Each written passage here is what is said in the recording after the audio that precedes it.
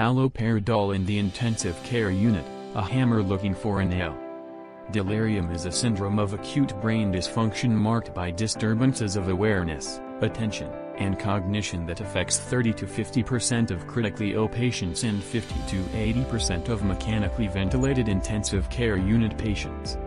Several randomized placebo-controlled trials, including the recent prophylactic haloperidol use for delirium in intensive care unit patients at high risk for delirium, REDUCE, trial, found no evidence that haloperidol prophylaxis prevents delirium in the intensive care unit.